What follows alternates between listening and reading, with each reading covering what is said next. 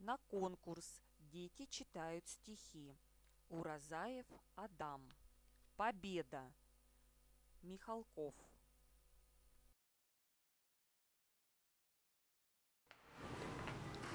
Победой кончилась война, те годы позади, горят медали, ордена у многих на груди, кто носит орден боевой за подвиги в бою, а кто за подвиг трудовой в своем родном краю.